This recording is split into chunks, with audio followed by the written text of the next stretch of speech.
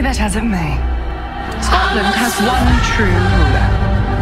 Mary, Queen of Scots, daughter of James V, crowned on her sixth day and appointed not by the Pope, but by the Almighty himself. It is my duty, my God